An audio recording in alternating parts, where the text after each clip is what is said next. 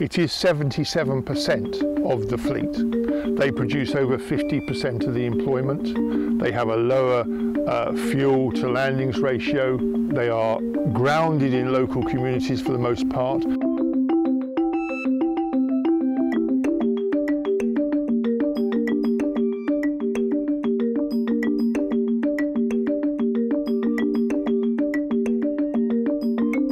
Never thought about doing anything other. Love me job.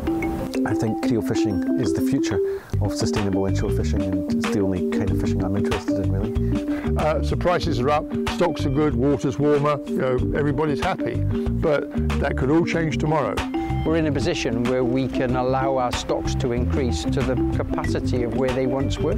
Worst case scenario, then round here, significant lose their jobs and significant amount of income to small communities will vanish.